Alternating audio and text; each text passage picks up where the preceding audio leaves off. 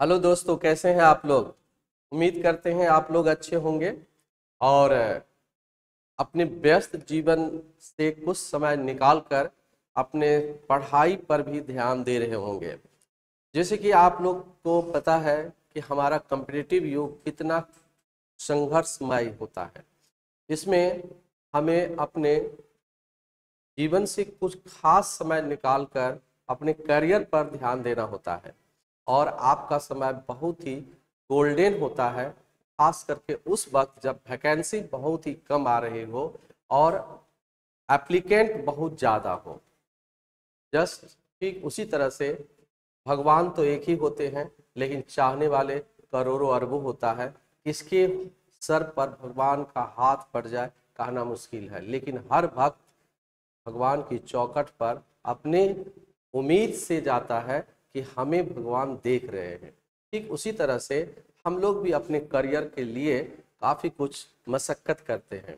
और आज से करतार कोचिंग सेंटर के माध्यम से हम लोगों का जो कंबाइंड के लिए जितने भी वनडे एग्जामिशन होता है, उसके लिए जो हम लोग जीएस का पोर्शन निर्धारित करते हैं, जिसमें आर्ट सेक्शन और साइंस सेक्शन होता है, उसमें हम आपके समक्ष प्रस्तुत कर रहे हैं हिस्ट्री। हिस्ट्री प्रस्तुत कर रहे हैं और हिस्ट्री में क्या हम लोग देखेंगे, इन सारी बातों को हम लोग स्तर से डिपेंड करते हैं। हिस्ट्री क्या है? हिस्ट्री ये हम लोगों को निर्धारित करता है, निर्धारित करता है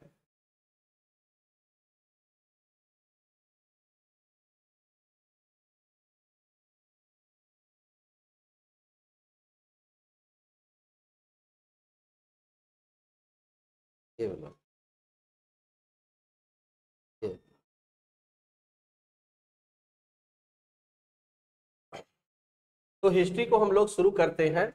जैसे कि आपको पता है कि हिस्ट्री का रेंज जो होता है, वह लगभग 25 25 हंड्रेड बीसी टू 1947 एडी के बीच होता है। लेकिन इस हिस्ट्री का जो हमारे लिए कंपेटिटिव ज़रूरी होता है समझना, वो ये होता है कि इसका रेंज जो होता है, वो तीन भागों में हम लोग बांट करके करते हैं। तीन भागों में बांट के करते हैं। जैसे कि फ़र्स्ट जो होता है फ़र्स्ट वह उस रेंज में 2500 बीसी से लेकर के, ठीक है, लगभग 1206 एडी तक का पीरियड आता है। दूसरा पीरियड जो होता है, वह 1206 एडी से लेकर के लगभग 1707 एडी तक आता है। और तीसरा पीरियड जो होता है, वह 1707 से लेकर के 1947 एडी तक आता है। ठीक है? यही तीनों सेक्शन से हम लोग का सवाल पूछा जाता है। लेकिन हिस्ट्री का जो यहाँ से पहले वाला भी एक सेक्शन होता है। ठीक है? ये फ़र्स्ट हुआ ये सेकेंड हुआ और ये थर्ड हुआ, ठीक है? तो यहाँ से पहले का भी एक काल होता है जिसको हम लोग डिटेल से पढ़ते हैं, लेकिन इसको हम लोग सिर्फ़ अभी सिर्फ़ इसका नाम जानते हैं कि कहाँ से, उस हिस्ट्री को क्या कहते हैं। तो 2500 बीसी से पहले वाला बिफोर 2500 बीसी हिस्ट्री को कहा जाता है प्रागैतिहासिक काल। प्रागैतिहासिक काल कहा जाता है। और प्रागैतिहासिक काल जो है, वह प्री हिस्ट्री का पार्ट होता है, जिसकी शुरुआत स्टोन एज से होता है। स्टोन एज से होता है। ठीक है? तो स्टोन एज का भी इतिहास हमारे मानव के लिए बहुत ज़रूरी है। यहाँ से भी कुछ सवाल पूछे जाते हैं। वो सवाल क्या है, उन सबको हम लोग स्तर बाय स्तर स्टेप बाय स्टेप देखेंगे। लेकिन हम लोग का जनरल कंपटीशन में जो पूछने का, जो सबसे ज़्यादा ये लॉट ऑफ़ क्वेश्चंस का जो एरिया होता है, वह सबसे ज़्यादा 2500 बीसी टू ठीक है 1947 एडी के बीच का ही होता है। इन सारे इतिहास को पढ़ने में हम लोग को लंबा सफ़र ज़रूरी है। एक दूसरे का साथ रहना। लेकिन इसमें सबसे पहले हम लोग शुरू करते हैं इस सेक्शन को। नहीं, जिसको आधुनिक भारत का इतिहास कहा जाता है। आधुनिक भारत का इतिहास होता है। आधुनिक भारत का इतिहास। वैसे आपको ये भी बता दूँ, इसको मध्य कालीन भारत का इतिहास है और इसको प्राचीन भारत का इतिहास कहा जाता है। प्राचीन भारत का इतिहास होता है। तो इतिहास का चार सेक्शन हो गया। एक प्रागैतिहासिक काल, ए नंबर को काउंट कर दीजिए। दूसरा हो गया प्राचीन भारत का इतिहास। तीसरा हो गया, ठीक है, मध्यकालीन भारत का इतिहास। और चौथा डी नंबर में हुआ आधुनिक भारत का इतिहास। अब इसमें क्या होता है कि इतिहास को जानने का जो सोर्स है, वह पूरी तरह से क्या है? इतिहास को जानने का दो सोर्स होता है। एक होता है आर्कियोलॉजिकल सोर्स और एक होता है लिटरेसी सोर्स तो इसमें जो जानने का सोर्स है, वह पूरी तरह से आर्कियोलॉजिकल सोर्स है। इसमें कोई भी लिखित सूचना नहीं होती है। अगर होती भी है तो उसमें पढ़ने योग्य नहीं होता है। इस पूरे प्रागैतिहासिक काल को, स्टोन एज को हम लोग सीधे एक तरह से पुरातात्विक आधारों पर जानते हैं। जैसे कि इंस्क्रिप्शन के माध्यम से क्वाइंस के माध्यम से, उसके प्राप्त मूर्तियों के माध्यम से, प्राप्त अवशेष या फॉसिल जो होता है, जीवाश्म जो होता है, उसके माध्यम से, उसके डेटिंग को माध्यम से को आधार बना करके देखते हैं। लेकिन ऐतिहासिक काल में जो दो इतिहास मुख्य रूप से होता है, तीन इतिहास प्राचीन भारत का इतिहास, मध्यकालीन भारत का इतिहास और आधुनिक भारत का इतिहास, इस पूरे इतिहास को हम लोग क्या करते हैं, इसको लिटरेसी सोर्स के माध्यम से पढ़ते हैं, जानते हैं। तो निश्चित तौर पर एक और बेसिक जानकारी हम बता दें ठीक है, कि प्रागैतिहासिक काल, प्राचीन भारत का इतिहास, मध्यकालीन भारत का इतिहास और आधुनिक भारत के इतिहास के बाद भी एक और भारत के रेफरेंस में इतिहास को हम लोग जानते हैं, जो विश्व इतिहास होता है, जिसको वर्ल्ड हिस्ट्री होता है, अर्थात वर्ल्ड हिस्ट्री में इसके बाद का सेक्शन होता है विश्व इतिहास विश्व इतिहास का सेक्शन होता है, ठीक है? वो विश्व इतिहास क्या कहलाता है? ठीक है, एक तरह से कह सकते हैं विश्व इतिहास। वह एक प्रकार का भारत के रिफरेंस में जो घटनाएँ होती है, उसी के बारे में हम लोग जानते हैं। जैसे कि फ़र्स्ट वर्ल्ड वार हुआ, सेकेंड वर्ल्ड वार हुआ इम्पेरलिज्म है जिसको साम्राज्यवाद कहते हैं, ठीक है? तो इन सारी बातों समाजवाद हुआ, ठीक है? विश्व शांति के लिए भारत क्या क्या प्रयास किया। प्राचीन काल में मध्य काल में आधुनिक काल में अभी क्या कर रहा है उनको भी हम लोग इतिहास में संजो करके रखते हैं। ठीक है? लेकिन हम लोगों का जो फिगर होगा हिस्ट्री को समझने का तो आपको पता है कि हिस्ट्री को समझने के लिए हम लोग क्या करते हैं एक तरह से कह सकते हैं हम्म, ठीक है? क्या करते हैं कि एक तरह से हम लोग इसको पीरियड में बांटते हैं जैसे कि इसको तीन सेक्शन में बांट देते हैं। एक होता है प्री हिस्टोरिक प्री हिस्ट्री इसके होता है प्रोटो हिस्ट्री प्रोटो हिस्ट्री और एक होता है हिस्टोरिक हिस्टोरिक जिसको ऐतिहासिक काल कहा जाता है। तो हिस्टोरिक एज जो होता है, उसमें सारी की सारी जानकारी लिखित और पढ़ने योग्य होता है। प्रोटो हिस्ट्री में लिखित जानकारी तो होता है, लेकिन उसे हम लोग पढ़ नहीं पाते हैं। और प्री हिस्ट्री में वो इतिहास होता है जिसकी कोई जानकारी लिखित रूप से नहीं होता है। आर्कियोलॉजिकल सोर्सेज के आधार पर इतिहास को हम लोग जानते हैं। तो हमारा आज से शुरू हो रहा है। यहाँ पर मध्यकालीन के बाद का इतिहास, आधुनिक भारत का इतिहास, जो 1707 से लेकर के 1947 के पीर का पीरियड होगा। ठीक है? तो निश्चित तौर पर आगे हम लोग बढ़ते हैं। और आगे हम लोग कहाँ से पढ़ेंगे? तो यहाँ से पढ़ते हैं। आगे बढ़ा करके हम लोग देखते हैं, ठीक है, कि मध्यकाल का इतिहास हो मध्य कालीन भारत का इतिहास को कहते हैं, ठीक है सॉरी मध्यकालीन नहीं पढ़े आज के डेट में, ठीक है, किसको पढ़े?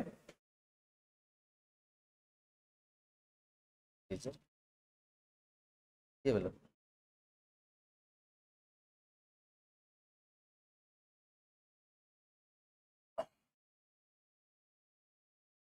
इसको आधुनिक भारत, आधुनिक आधुनिक भारत का इतिहास से हम लोग पढ़ते हैं, जिसको मॉडर्न हिस्ट्री कहते हैं। मॉडर्न इंडियन हिस्ट्री कहते हैं, ठीक है? इस मॉडर्न हिस्ट्री का, क्योंकि एक चीज़ और मैं बता दूँ हिस्ट्री का मतलब ही होता है तीन इंफॉर्मेशन अर्थात पर्सनैलिटी टाइम एंड इवेंट यही तीनों मानव विकास से संबंधित जितनी भी घटनाएँ होती है, उसी को हम लोग हिस्ट्री में रखते हैं। तो सबसे पहले हम लोग इसको रेंज करते हैं, और यह रेंज कहाँ से कहाँ तक है? 1707 एडी से लेकर के 1947 एडी तक के पूरे इतिहास को हम लोग देखेंगे।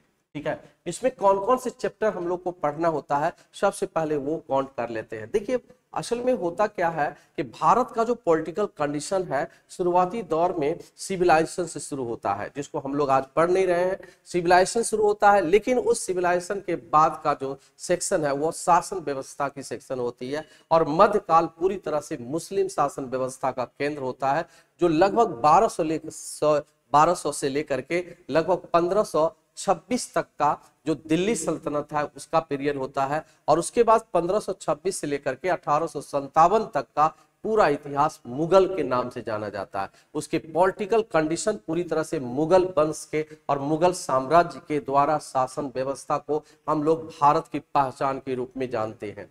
लेकिन मुगल काल जो 1526 से लेकर के अठारह सौ सतावन के बीच का सेशन है, उसी में दो पार्ट बांट देते हैं और उसको हम लोग अर्ली मुगल करते हैं और नीचे तीसरे वाला जो दूसरा सेक्शन होता है, वह लेटर मुगल यानी कि उत्तरवर्ती मुगल होता है। तो आधुनिक भारत का इतिहास वहाँ से शुरू होता है, जहाँ से मुगल का लगभग आधा भाग बीत जाता है और उसके बाद लगभग अठारह तक का जो मुगल पीरियड था 1707 से वहाँ से पूरी शासन व्यवस्था को काउंट करते हैं। इसके अंतर्गत हम लोग क्या क्या पढ़ेंगे, ठीक है, जिसको हम लोग सिलेबस कह सकते हैं। सिलेबस कह सकते हैं। इसमें क्या क्या हम लोग को पढ़ना होगा। तो सबसे पहले होता है लेटर मुगल, यानी कि उत्तरवर्ती मुगल, काल को देखेंगे। जो पूरी तरह से 1707 से लेकर के अठारह एडी तक का इतिहास आएगा। दूसरा सेक्शन हम लोग का जो होगा, वह दूसरा सेक्शन क्या होगा? तो यहाँ पर अठारह का एक विद्रोह है, जो ईस्ट इंडिया कंपनी के खिलाफ विद्रोह माना जाता है, बगावत माना जाता है, क्योंकि ईस्ट इंडिया कंपनी जब आया था भारत तो एक व्यापारी के रूप में आया था, लेकिन व्यापार करते करते जब वह अपने इकोनॉमिक कंडीशन को काफ़ी स्टेबल कर लिया तो वह अपने यहाँ के जो राजनीतिक व्यवस्था थी, उसमें हस्तक्षेप करना शुरू किया और फिर वह हस्तक्षेप करते करते यहाँ के शासक में इन्वॉल्व हो गए और शासन स्थापित किया। जो शासन लगभग सत्रह सौ छियासठ से शुरू हुआ और अठारह तक ईस्ट इंडिया कंपनी का शासन चलता रहा। लेकिन अठारह में एक बगावत हो गई, जो भारत में भारतीयों मूल के, भारतीय मूल के जो ब्रिटिश सिपाही थे, उन्हीं के द्वारा ईस्ट इंडिया कंपनी के शासन के खिलाफ हुआ था। तो निश्चित तौर पर उस बगावत को ईस्ट इंडिया कंपनी के अगेंस्ट में माना गया और उस सिपाही को सिपाही विद्रोह कहा गया। ठीक है? तो यहाँ पर द रिवोल्ट ऑफ़ 1857 या सिपाही विद्रोह कहा गया। कौन सा विद्रोह? सिपाही विद्रोह। इसको कहते हैं जो अठारह का सिपाही विद्रोह था। ठीक है? अठारह का सिपाही विद्रोह। जब ये विद्रोह हुआ था तो इसके समय में या इसके पहले कई अन्य विद्रोह भी हुए थे, जैसे कि सन्यासी विद्रोह था, फकीर विद्रोह था, कोल विद्रोह था, मुंडा विद्रोह था, संथाल विद्रोह था, नील विद्रोह था भील विद्रोह था, फराइजी विद्रोह था, ऐसे सैकड़ों विद्रोह हुआ। लेकिन अन्य विद्रोह और अठारह के विद्रोह में थोड़ा सा बेसिक अंतर है। ब्रदर, ध्यान से सुनेंगे, क्या अंतर था? जैसे अठारह का विद्रोह जो था, वह राष्ट्रीय पहचान वाली थी। इससे डायरेक्ट या इनडायरेक्ट भारत का पूरा पॉलिटिकल कंडीशन प्रभावित हुआ। लेकिन इससे पहले और इसके बाद में जो छोटे छोटे विद्रोह था, उसकी स्थानीय पहचान थी। जैसे कि वह विद्रोह या तो क्षेत्र विशेष पर हुआ, या किसी सेना के विशेष पर हुआ, या किसान के विशेष पर हुआ, या जनजातियों के क्षेत्र में हुआ। इसलिए उसका राष्ट्रीय पहचान नहीं बन पाया था। तो यहाँ पर, ठीक है, और और अन्य विद्रोह कहते हैं। अन्य विद्रोह, अन्य विद्रोह का चैप्टर इसमें हम लोग देखेंगे, जो लंबा, काफ़ी इंटरेस्टेड और बड़ा सेक्शन होता है, जिसमें तीन इंफॉर्मेशन को हम लोग बेसिकली देखेंगे। पहला इंफॉर्मेशन देखेंगे कि वह विद्रोह कब हुआ था, दूसरा कहाँ हुआ था, तीसरा उससे रिलेटेड कौन कौन से पॉलिटिकल अप्रोच था कौन कौन से पॉलिटिकल घटनाएँ थी, कारण थी, उसका इम्पैक्ट क्या हुआ। तीसरा चैप्टर बहुत ही इंपॉर्टेंट है। उसका जो रेफरेंस है, वो पहले हुआ था, लेकिन इसको हम लोग अरेंज करेंगे यहाँ पर। वो क्षेत्र है, वो सेक्शन है, भारत में यूरोपियन व्यापारी या कह सकते हैं, भारत में यूरोपियन व्यापारी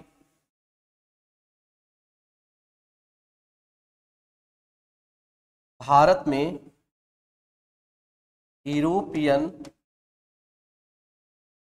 व्यापारी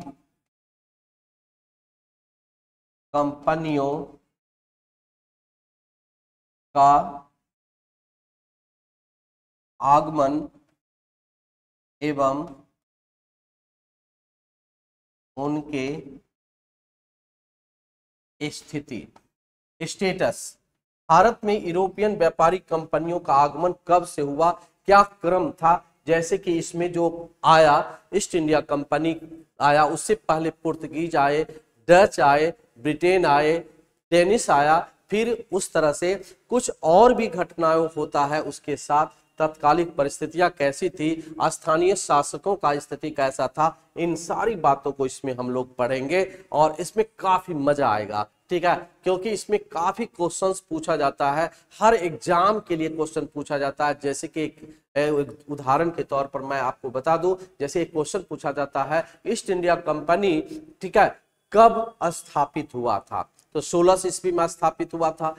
ईस्ट इंडिया कंपनी भारत में जब आया तो उस समय में मुगल शासक कौन था? तो ईस्ट इंडिया कंपनी के समय में जब भारत आया था तो वैसे तो था अकबर शासक, लेकिन जहांगीर के दरबार में सबसे पहले कैप्टन हॉकिंस आया था, जिसका उद्देश्य था भारत से व्यापार करने के लिए व्यापारिक फैक्ट्रियों को स्थापित करना, और वह सूरत में स्थापित हुआ था, मसूलीपट्टनम में स्थापित हुआ। ऐसे सवाल पूछे जाते हैं, और मैं इसके लिए बहुत सारे क्वेश्चन भी रेफरेंस में बताऊँगा, ठीक है? उसके बाद चौथा चैप्टर में हम लोग पढ़ते हैं, ठीक है? क्षेत्रीय क्षेत्रीय स्वतंत्र।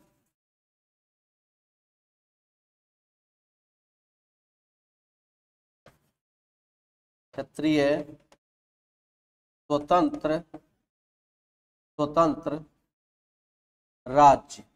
क्षेत्रीय स्वतंत्र राज्य जैसे की रूप में, जैसे कौन कौन से स्वतंत्र राज्य था? जैसे एक राज्य था बंगाल। ठीक है? उसी तरह से अवध, उसी तरह से हैदराबाद, ठीक है? मैसूर मैसूर हुआ, फिर उसी तरह से मराठा हुआ, मराठा इटीसी ये छोटे छोटे राज्य जो थे, वह इंग्लिश ईस्ट इंडिया कंपनी, जो ब्रिटिश ईस्ट इंडिया कंपनी था, उसके पैरलर में खड़ा था तो एक तरफ़ मुगल था दूसरी तरफ़ ये छोटे छोटे रीजनल स्टेट था और तीसरी तरफ़ जो था ईस्ट इंडिया कंपनी के साथ साथ यूरोपियन कंपनी था, ठीक है, अन्य यूरोपियन कंपनी वो आपस में संघर्ष किया और फाइनली यहाँ से एक तरह से एक ऐसा सिस्टम डेवलप हुआ जो भारत में कई वर्षों तक शासन किया, ठीक है। इसके अलावे भी पांचवा चैप्टर में हम लोग और भी कुछ बातें हैं, जैसे कि क्या क्या है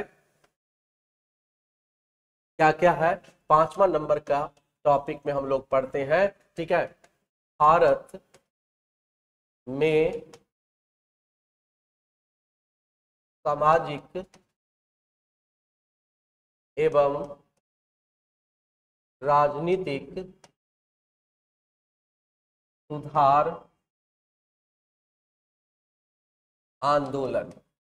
भारत में राजनीतिक और सामाजिक सामाजिक एवं राजनीतिक सुधार आंदोलन, ये बहुत ही महत्वपूर्ण घटना है, जो भारत के तात्कालिक सामाजिक और राजनीतिक स्टेटस को बदलने का प्रयास किया, क्योंकि इस समय में एक तरफ़ भारत में शासित वर्ग तत्कालिक समय में मुगल था दूसरा, ईस्ट इंडिया कंपनी का आगमन हुआ था। उसके प्रति जो भारत के जनमानस थे, वो जो सोचते थे, वो ऐसा लगता था कि वो ईसाई बनाने के लिए अपना प्रयास कर रहा है या इकोनॉमिक स्टेबिलिटी को प्राप्त करने के लिए कर रहा है। दूसरी तरफ़ मुगल से जो छोटा छोटा राज्य था, वो स्वतंत्र हो चुका था। तो वे स्वतंत्र राज्य और मुगल आपस में संघर्ष करने लगे एक तरह से यूरोपियनों से।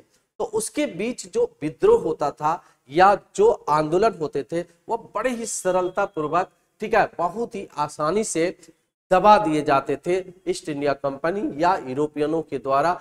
तो भारतीय जनमानस में ये एक फीलिंग हुआ कि आखिर क्या कारण है कि हम लोगों के द्वारा शासन के खिलाफ, उनके शोषणकारी नीतियों के खिलाफ जो बगावत करने करने वाले जो यूनिट है, उसको बहुत ही सरलता पूर्वक दबा देते हैं। आखिर क्या कारण है?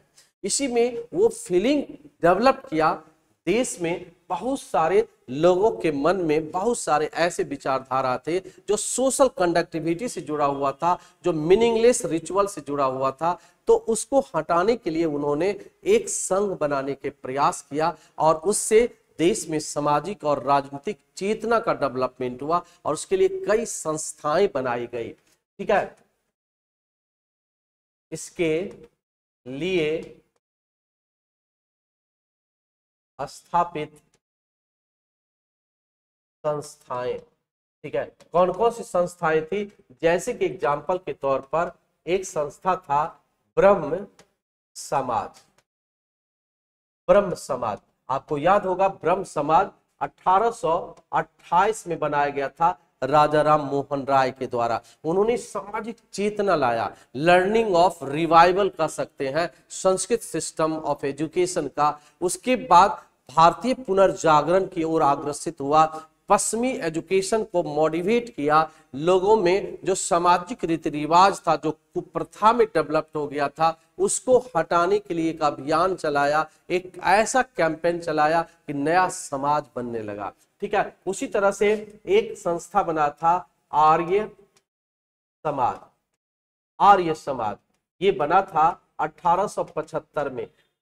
स्वामी दयानंद सरस्वती ने इस संस्था को बनाया और स्वामी दयानंद सरस्वती ने भले ही बैक टू वेदा वेदों के प्रमोशन पर ध्यान दिया, उन्होंने वैदिक कल्चर को फिर से स्थापित किया, लेकिन स्वराज्य की बात कहा। उन्होंने जनता में ये बताया कि आखिर सत्य क्या है, और इसके लिए उन्होंने अपना एक वर्कवाट पब्लिश किया, जिसका नाम था सत्यार्थ प्रकाश। आज जो भारत के कई भागों में अलग अलग भागों में, संसार के अलग अलग क्षेत्रों में या देशों में डीएवी का कॉन्सेप्ट है, उसकी शुरुआत आर्य समाज के बैनर तले ही हुआ था। भले उसका पहला ब्रांच लाहौर में लाला लाजपत राय के द्वारा बनाया गया था और आज भारत में एजुकेशन सेंटर बना हुआ है। उसी तरह से एक संस्था बना, राम कृष्ण मिशन था। रामकृष्ण मिशन। ये रामकृष्ण मिशन अठारह में बना था और रामकृष्ण मिशन एक ऐसा संस्था थी जिसमें स्वामी विवेकानंद ने लोगों को बताया कि सेवा और त्याग से ही मानव का कल्याण हो सकता है। ठीक है, भले वह इस विचारधारा को वैदिक संस्कृति को बढ़ाने के लिए विश्व स्तर पर एक कॉन्फ्रेंस हुआ था शिकागो में अठारह सौ तिरानवे में, वहाँ जाकर के उन्होंने विश्व स्तर पर हिंदू संस्कृति को, वैदिक संस्कृति को स्थापित किया था। तो ऐसी बातों से, ऐसे संस्थाओं से देश में एक सामाजिक चेतना आई। उसी तरह से एक और संस्था बना था, जिसका नाम था सत्य शोधक सत्य शोधक समाज। सत्य शोधक समाज अठारह सौ तिहत्तर तिहत्तर, चौहत्तर में बना था और ये संस्था समाज में जो ब्राह्मणिकल सुपरमैसी था, उसके खिलाफ अगेंस्ट किया, एक अभियान चलाया और जो शोषित वर्ग था, जो डिप्रेस्ड क्लास के लोग थे, उनको समाज के मुख्य धारा में लाने के लिए एक प्रयास किया। हिंदुओं के साथ साथ हिंदुओं में जो डिप्रेस क्लास थे, उनको समाज के मुख्य धारा में लाने के लिए अभियान चलाया, पुरुषों के साथ साथ स्त्रियों के एजुकेशन पर विशेष बल दिया। ज्योतिबा राव फूले इसके जन्मदाता थे। उसी तरह से एक और संस्था बनाया था, theosophical theosophical fickle society, theosophical society. Theosophical society 1875 में बना और इन्होंने भारत में आध्यात्मिक राष्ट्रवाद को शुरुआत किया। देखो भाई, बहुत ही इंपॉर्टेंट सेक्शन था यह, जिसमें लोग अब तक राष्ट्रीयता को भूल चुका था या राष्ट्रीयता उसके मन में क्रिएट नहीं हुआ था, लेकिन इस संस्था ने सबसे पहले राष्ट्रीयता को आध्यात्मिक मार्ग से जोड़ने का प्रयास किया। इसके बहुत ही प्रबल समर्थक थे एनी वेसेंट, जो आयरलैंड की थी, लेकिन भारत आने के बाद इन्होंने जन जन तक इस संस्था को पहुँचाया। उसी तरह से एक और संस्था था, जिसका नाम था अलीगढ़ अलीगढ़ आंदोलन। अलीगढ़ आंदोलन ये बना 1875 में सर सैयद अहमद खां के द्वारा बनाया गया, जिसमें मुस्लिम समाज को भी समाज में आधुनिकता के प्रति आकर्षित करने का प्रयास किया। A M U Aligarh Muslim university बनाया गया। ठीक है तो ऐसे संस्था मिला तो भारत में बहुत ऐसे व्यवस्थाओं में, बहुत ऐसे विचारों में सुधार आया। जो भारत के लिए अभिशापित होता जा रहा था और एक नए भारत को बनाने में, एक नव निर्माण करने में एक नींव का काम किया। उसी तरह से एक संस्था था इंडियन एसोसिएशन जिसका नाम इंडियन एसोसिएशन था। एसोसिएशन यह संस्था एक ऐसा काम किया जो 1876 में बना था सुरेंद्र नाथ बनर्जी के द्वारा, जो पहली बार पहली बार भारत में फ़र्स्ट टाइम एक ऐसा मंच तैयार किया जो पॉलिटिकल प्लेटफॉर्म बना और इसके माध्यम से जो सिविल सर्विस था, जो प्रशासनिक सेवा थे, उसमें भारतीयों के प्रतिनिधि को, हिस्सेदारी को सुनिश्चित करने का मांग किया। साथ ही साथ इंडियन सिविल सेवा परीक्षा में भारतीयों के लिए जो उम्र निर्धारित किया गया था, उसमें लॉर्ड लिटन ने कमी कर दिया था। उस कमी को बढ़ाने के लिए, अर्थात उम्र सीमा में वृद्धि की मांग की गई। ये काफ़ी क्रांति लाया, खास करके पढ़े लिखे समाज में। और सबसे बड़ा क्रांति लाया Indian Indian national national congress. Indian national congress जो 1885 ईस्वी में बना ए ह्यूम बना और फिर यहीं से शुरू होता है भारत में राष्ट्रीय आंदोलन। तो इस चैप्टर में इसके अलावा भी बहुत ऐसे संस्था है, बहुत ऐसे ऑर्गेनाइजेशन है जो भारत में राजनीतिक और सामाजिक चेतना को डेवलप किया, जिसको कह सकते हैं राष्ट्रवाद को लाया। प्रेस की स्वतंत्रता हुई मॉडर्न एजुकेशन आया एजुकेशन पॉलिसी हुआ नई इकोनॉमिक पॉलिसी आया, इन सारी बातों से हम लोग इस पाँचवें चैप्टर में पढ़ेंगे। इसके अलावे एक और खास बातें हैं कि भारत में छोटे छोटे राज्यों का जब उदय हुआ तो वहाँ पर ईस्ट इंडिया कंपनी के समाप्ति के बाद अठारह में ब्रिटिश क्राउन डायरेक्ट भारत पर शासन करने लगा।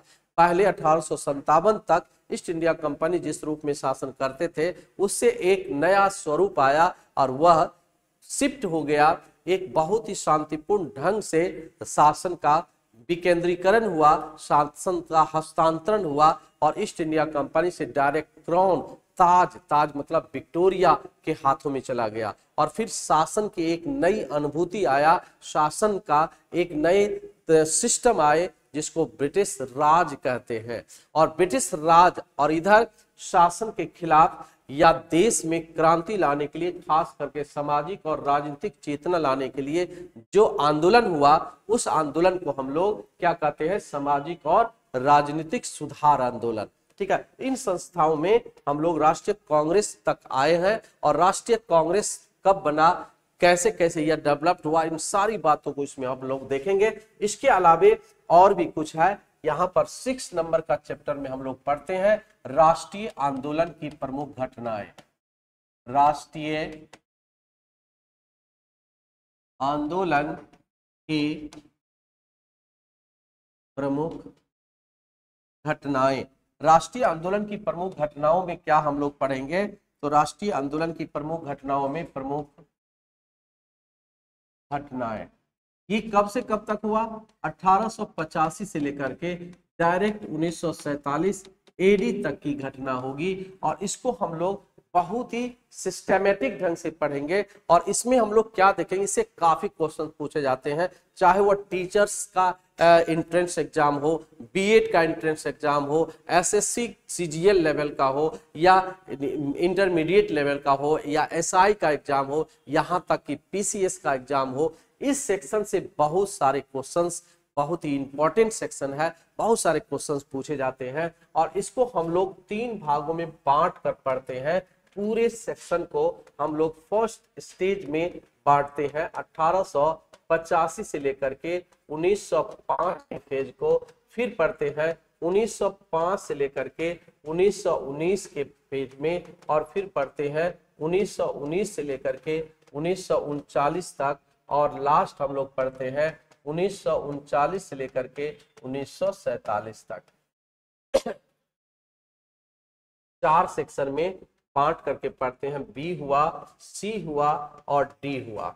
अब इस सेक्शन को हम लोग क्या कहते हैं? इसको उदारवादी युग कहा जाता है।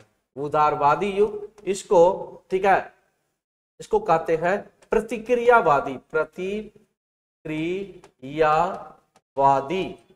ठीक है? युग कहते हैं। इसको गरम गरम दल का युग भी माना जाता है। इसको क्या माना जाता है? गरम दल का युग भी माना जाता है। गरम दल का युग।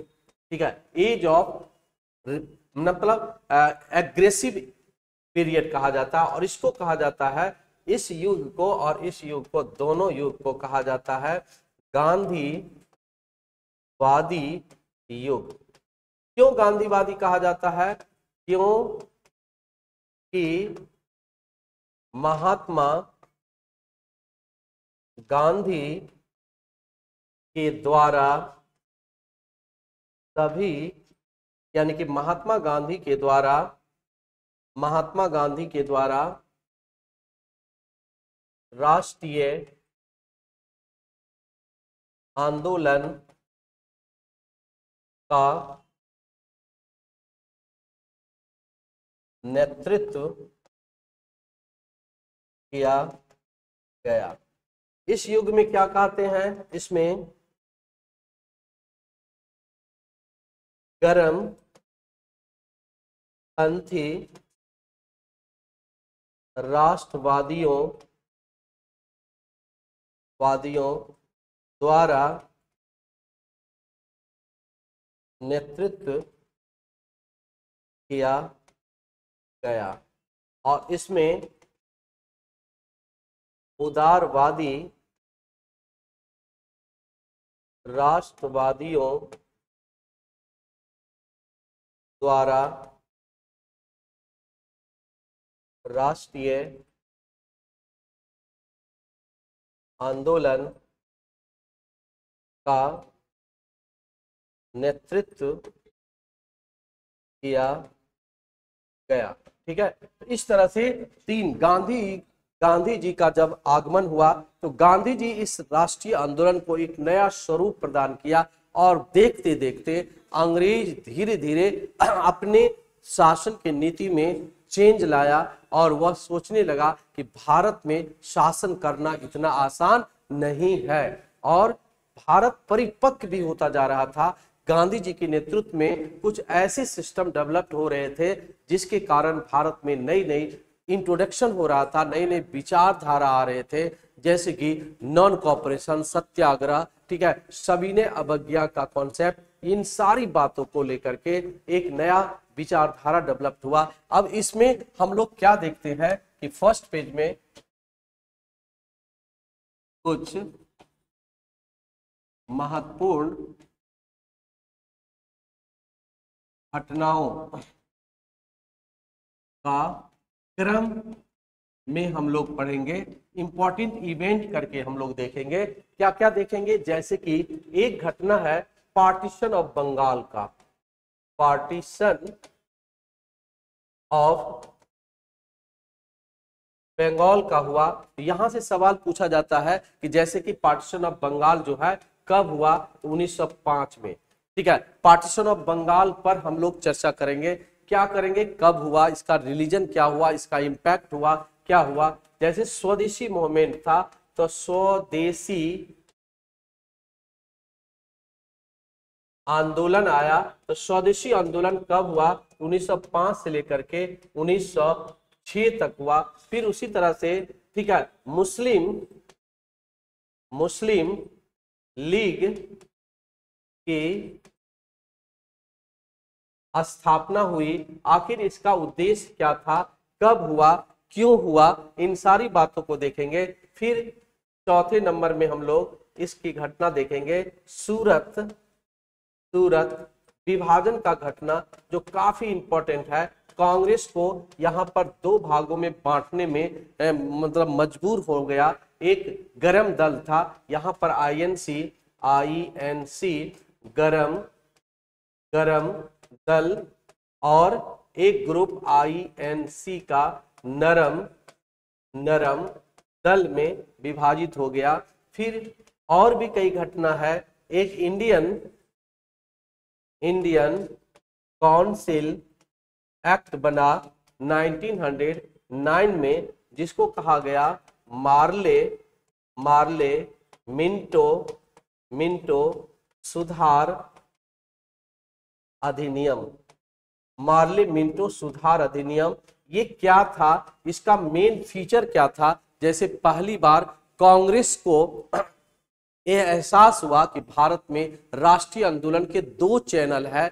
एक चैनल, ठीक है, हिंदुओं के प्रतिनिधि के रूप में आईएनसी है और दूसरा चैनल जो है, वह मुसलमानों के प्रतिनिधि के रूप में मुस्लिम लीग है और उनको एक प्रतिनिधि देने के लिए एक तरह से पृथक निर्वाचन क्षेत्र का अधिकार यहाँ पर मिला, ठीक है। उसी तरह से दिल्ली दिल्ली दरबार का, दरबार का आयोजन हुआ। आयोजन। अब दिल्ली दरबार एक सेरेमनी था, जो 1911 ईस्वी में हुआ था। और यहाँ से सवाल पूछा जाता है कि क्या हुआ दिल्ली दरबार में? यहाँ पर क्या हुआ? तो भारत में जो पार्टीशन ऑफ़ बंगाल हुआ था, उसको भंग करने का घोषणा किया गया।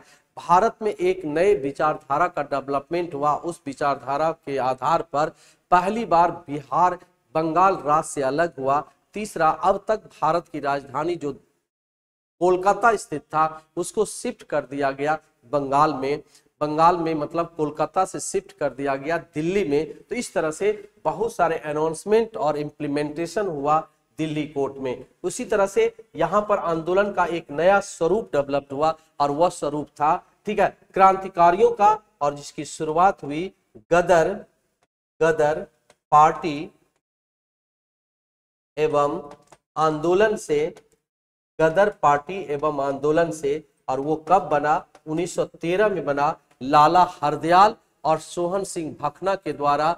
अमेरिका में इस संस्था का स्थापना किया गया था, जिसका उद्देश्य था भारत में क्रांतिकारी रूप से एक सशस्त्र विद्रोह के माध्यम से भारत को एक फेडरल ऑफ़ इंडिया बनाना, ठीक है, जो एक सफल नहीं हो पाया क्योंकि फ़र्स्ट वर्ल्ड वार शुरू हो गया 1914 में, और उसके कारण जो क्रांतिकारी गतिविधियाँ थी, उसको सीज कर लिया गया, उसके सारे अथॉरिटी को गिरफ़्तार कर लिया गया, किसके द्वारा? ब्रिटिश हुकूमत के द्वारा, और इस तरह से गदर पार्टी खत्म हो गया। इसके बाद एक और घटना होती है, ठीक है?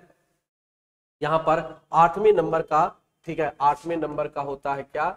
यहाँ पर भारत में जब गदर पार्टी का नियंत्रण होने लगा तेरह में तो लोगों के मन में आया कि क्रांति ही हमारा उपाय है राष्ट्रीय आंदोलन में स्वराज्य के लिए। लेकिन कांग्रेस यह तय किया कि हम लोग ऐसा नहीं करेंगे। हिंसात्मक व्यवस्था को हथियार नहीं बनाएँगे। और एक सम्मेलन हुआ लखनऊ में, जिसको कहा गया लखनऊ अधिवेशन। ठीक है, जिसको क्या कहा गया? लख, लखनऊ पैक्ट कहा गया। ठीक है, लखनऊ अधिवेशन, लखनऊ पैक्ट बना। ये बना कब 1916 ईस्वी में लखनऊ पैक्ट बहुत ही ज़्यादा इंपॉर्टेंट है यह घटना लखनऊ पैक्ट एक तरह से एक एग्रीमेंट था जो किसके बीच हुआ था? यह हुआ था आई एन सी और मुस, मुस्लिम लीग के बीच हुआ था। ठीक है? एक लीग के बीच एक समझौता हुआ था, समझौता हुआ था। जिसमें स्वराज को लेकर के नाइन्थ नंबर की घटना है, ठीक है? Home rule league home rule league एवं होम रूल लीग एवं आंदोलन था। Home rule league home rule league एवं आंदोलन आंदोलन बना था 1916 में। जिसके दो थे, एक था बाल गंगाधर तिलक और एक थे एनी बेसेंट। एक बाल गंगाधर तिलक बनाया गया था और एक था एनी बेसेंट। ठीक है? तो एनी बेसेंट और बाल गंगाधर तिलक ने इसको शुरू किया था। फिर था चंपारण सत्याग्रह की शुरुआत हुई। चंपारण सत्याग्रह कब हुआ था? क्यों हुआ था इन सारी बातों को चंपारण सत्याग्रह? ये कब हुआ था? 1917 में हुआ और ये एम के गांधी के द्वारा चलाया गया ये फ़र्स्ट पहला पहला सविनय अवज्ञा आंदोलन यह पहला सविनय अवज्ञा आंदोलन था। तो चंपारण में गांधी जी ने फ़र्स्ट टाइम भारत के पॉलिटिक्स में एक सत्याग्रह शब्द जैसे आंदोलन को लेकर गाया। उसी तरह से यहाँ पर खेरा आंदोलन हुआ। खेरा आंदोलन जो 1918 में हुआ। फिर उसके बाद अहमदाबाद अहमदाबाद मिल, ठीक है, मिल हड़ताल, आंदोलन हुआ। ये भी हुआ 1900 1918 में और इस दोनों में गांधी जी ने ही नेतृत्व किया था, एम के गांधी। और इसका अंतर क्या था? यहाँ पर किसानों ने भरपूर सहायता किया, किसानों को लाभ मिला और यहाँ पर मिल मजदूरों को लाभ मिला था, जिसमें बोनस देने की बात कही गई थी। थर्टीन नंबर में एक महत्वपूर्ण घटना है, ठीक है, एक Indian Indian council council act आया 1919 में, फिर 1919 में ही Rowlatt act Rowlatt act act बना। ये भी 1919 में आया, ठीक है? और 15 नंबर में एक और घटना हुआ, जालिया जालिया वाला बाग हत्याकांड। जालियावाला बाग हत्याकांड भी 1919 में 13 अप्रैल को हुआ था। जालियावाला में इस तीनों घटना से महात्मा गांधी का एम के गांधी का विचार असहयोगात्मक हो गया और फिर एक तरह से खिलाफत के माध्यम से भारत में एक आंदोलन चलाया और वो कौन कौन से आंदोलन था? ठीक है? जैसे कि एक एग्ज़ाम्पल के तौर पर एक आंदोलन हुआ खिलाफत। आंदोलन, वो आंदोलन कब हुआ? 1919 में हुआ, फिर हुआ असहयोग आंदोलन। असहयोग आंदोलन 1900 1920 में हुआ, फिर इस आंदोलन का एक घटना था, चोरी चोरा। एक आंदोलन हुआ, ठीक है। असहयोग आंदोलन के बाद एक आंदोलन हुआ, जिसका नाम था 1920 में जो आंदोलन हुआ, ठीक है तो महात्मा गांधी का एक स्वभाव असहयोगात्मक हो गया। लेकिन असहयोगात्मक होने के बाद महात्मा गांधी के विचार से जब चोरी चोरा की घटना हुई तो उस घटना से महात्मा गांधी को अनुभवात्मक रूप से आंदोलन से कोई फ़ायदा नहीं है। इसीलिए इस आंदोलन को डिस्ट्रॉय कर दिया जाए सस्पेंड कर दिया जाए, और फिर चोरी चोरा के बाद घटना का 12 फरवरी उन्नीस मतलब 22 ईस्वी में इस आंदोलन को स्थगित कर दिया गया। तो फिर एक नया एक वर्ग क्रिएट हुआ, जिसका नाम था स्वराज पार्टी।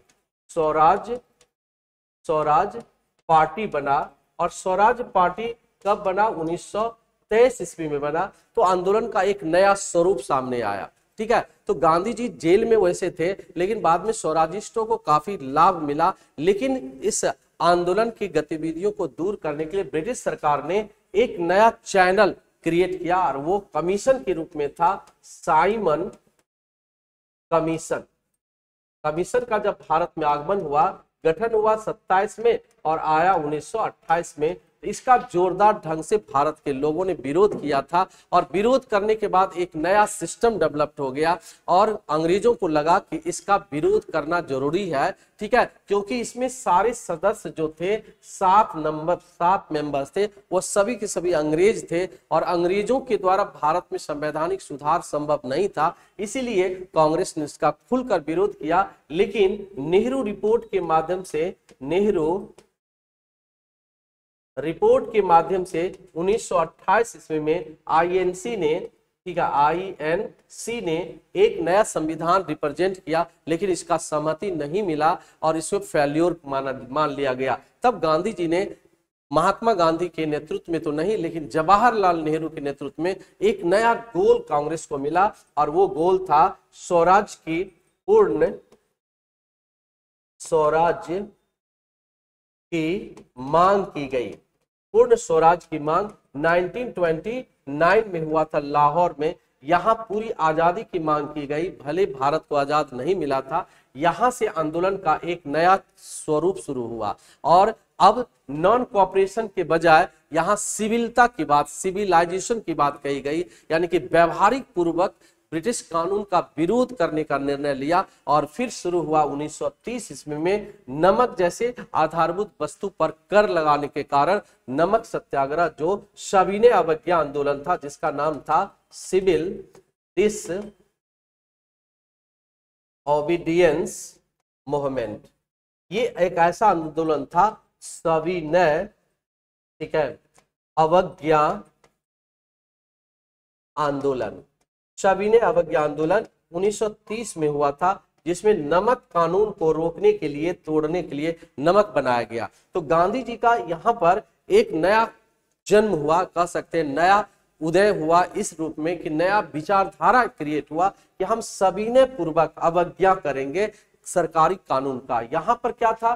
असहयोग में हम सरकार की नीतियों को सहयोग नहीं करेंगे। लेकिन यहाँ पर क्या करेंगे? सहयोग के बजाय अवज्ञा करने की बात आई। तो एक नया विचारधारा था। सत्याग्रह पहले, फिर नॉन कॉपरेशन फिर अवज्ञा। ठीक है? इसी पर सरकार को ध्यान देना ज़रूरी हो गया। लेकिन गांधी जी के विचारों से काफ़ी भयभीत होकर के तीन गोल में सम्मेलन आयोजित किया गया, जिसको कहा गया round table table conference conference ये कहा हुआ? तो लंदन में हुआ 1930 से लेकर के 1932 के बीच। यह तीनों सम्मेलन, तीन सम्मेलन हुआ था। फ़र्स्ट हुआ 1930 में सेकेंड हुआ 1931 में और थर्ड हुआ 1932 में। लेकिन सेकेंड वाला जो था, ये काफ़ी इंपॉर्टेंट रहा इसलिए कि कांग्रेस का प्रतिनिधि गांधी जी उसमें शामिल हुए थे। ठीक है? और लास्ट सेक्शन में जब हम लोग देखते हैं 1932 के बाद का इंडियन काउंसिल एक्ट आया 1935 में, और आंदोलन के स्वरूप को नया स्वरूप प्रदान किया। नया एक तरह से कह सकते हैं, जिसका नाम था Indian national Indian council act बना। इंडियन काउंसिल एक्ट बना कब? इंडियन काउंसिल एक्ट जब 1935 में हुआ 35 में इसके पहले बहुत ऐसे नीति भारत में बनाए गए थे, जिसमें एक था कॉमनल अवार्ड 1932 में, एक क्या था? कॉमनल अवार्ड बना था अवार्ड 1932 में बना था। इसी का सॉल्यूशन करने के लिए एक पूना पूना पैक्ट आया था, महात्मा गांधी और बी आर अंबेडकर के बीच में, जिसका सॉल्यूशन तौर पर तैयार हुआ 1935 में, जिसमें दो तीन बातों को कही गई थी, जिसमें यूनियन लेवल पर ड्वेल रूल सिस्टम लाया गया था और प्रांतों को ऑटोनोमस पावर दिया गया था। लेकिन सेकेंड वर्ल्ड वार उन्नीस में शुरू हो गया और सेकेंड वर्ल्ड वार ने भारतीयों का, ठीक है, एक मनोबल को तोड़ दिया तत्काल।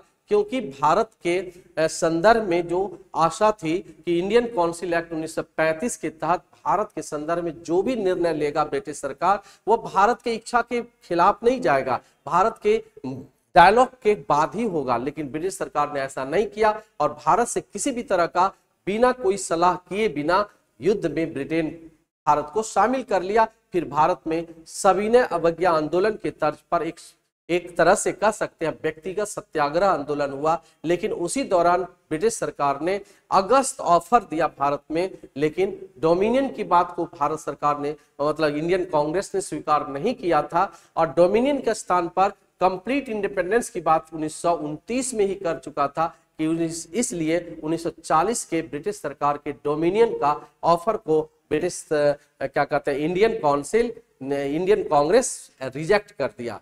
फिर 1940 ईस्वी में ही स्वतंत्र पाकिस्तान की मांग की गई थी मुस्लिम लीग के द्वारा। यहाँ पर दो तीन बातें, एक क्रांति था, व्यक्तिगत सत्याग्रह जो 1940 में हुआ था। दूसरी घटना हुई थी अगस्त, ऑफ़र था जो 1940 में ही हुआ था। और तीसरी था स्वतंत्र स्वतंत्र पाकिस्तान की मांग। ये हुआ 1940 में। किसने किया था स्वतंत्र पाकिस्तान के बाद? तो अली या मोहम्मद अली जिन्ना ने किया था। क्योंकि अगस्त ऑफ़र में डोमिनियन की बात कही गई थी। डोमिनियन, ठीक है, डोमिनियन स्टेटस स्टेट की बात ब्रिटिश सरकार ने कांग्रेस को दिया तो यहाँ पर मुस्लिम लीग को लगा कि कहीं कहीं ऐसा न हो कि डोमिनियन कांग्रेस स्वीकार कर लेगा। लेकिन पाकिस्तान के मुस्लिम लीग ने इसको अपना एक लक्ष्य बताते हुए अलग पाकिस्तान की मांग कर दी। इसके बाद कांग्रेस का एक और वर्ग था जो आईने बना। तो formation of formation of Indian national army 1943 में बना, किसके द्वारा? तो एस सी बोस के द्वारा बनाया गया। एस सी बोस के द्वारा आज़ाद हिंद फौज की, का गठन हुआ और यह तो एक तरह से पॉजिटिव नहीं था कांग्रेस की नज़र में, लेकिन देखा जाए, यह इसका असर बहुत ज़्यादा हुआ, क्योंकि ब्रिटेन के खिलाफ जर्मनी और इटली का, ठीक है, समर्थन जो था इंडियन नेशनल आर्मी को, यानी कि आईएनए को मिल गया। परिणाम ये हुआ कि 1945 में जब देश आज़ाद हुआ, ठीक है sorry second world war finish हुआ तो ब्रिटेन में सत्ता परिवर्तन हुआ और क्लीमेंट एटली के नियंत्रण में एक स्वतंत्र गवर्नमेंट बनी और वहाँ पर भारत में एक नया कैबिनेट मिशन भेजा। हाई पावर कमीशन था जो 1946 में बनाया, भेजा गया था। इस कमीशन में दो बातें कही गई थी। एक संविधान सभा की स्थापना हुई स्थापना हुई और एक स्वतंत्र रूप से अस्थाई अस्थाई सरकार बनी। ठीक है? अस्थाई सरकार बनी, जिससे तय हो गया कि जून 1948 तक भारत को आज़ाद कर दिया जाएगा। लेकिन मुस्लिम लीग के जो दिल में कलह था कि वह स्वतंत्र पाकिस्तान की मांग करेंगे। स्वतंत्र पाकिस्तान के लिए आंदोलन आरंभ भी कर दिया। उसी का परिणाम था कि लास्ट फ़ेज़ में एक माउंट बेटन योजना आया। माउंट बेटन योजना आया कब? 1947 में और 1947 के तहत इस योजना के तहत भारत एक राष्ट्र नहीं, दो राष्ट्र बना। भारत और पाकिस्तान नए डोमिनियन बने और भारत की आज़ादी के साथ पाकिस्तान की आज़ादी मिली और भारत का डोमिनियन राष्ट्र बन गया और इस तरह से मुस्लिम लीग का सपना पूरा हो गया। लेकिन गांधी जी इसके खिलाफ थे, फिर भी जो भी हो, वास्तविकता यही था कि 15 अगस्त उन्नीस को भारत एक तरफ़ आज़ाद हुआ तो दूसरी तरफ़ भारत पाकिस्तान के रूप में, दो राष्ट्र के रूप में विभाजित हुआ। तो इस बातों को सिलेबस को लेकर के हमने जो लगभग 1900 सॉरी 1760 से लेकर के जो सिलेबस स्टैंड किया है, अगली क्लास से हम लोग क्या करेंगे? एक एक टॉपिक को डिस्कशन करेंगे, पढ़ेंगे और डिटेल से पढ़ेंगे और वादा करते हैं, आपको कोई भी बोरिंग नहीं होगा और खास करके खास करके आपके लिए बहुत ही इंफॉर्मेटिव क्लास होगा। इसमें बहुत सारी इंफॉर्मेशन होगी, बहुत सारे क्वेश्चंस आएँगे और हर एग्ज़ाम के लिए, ठीक है? बहुत ही महत्वपूर्ण होगा। तो इसी के साथ आज का पार्ट हम लोग यहाँ रखते हैं। आज का डिस्कशन का मूल मकसद था मॉडर्न हिस्ट्री इंडियन हिस्ट्री को इंट्रोड्यूस करके सिलेबस को बताना। Okay thank you very much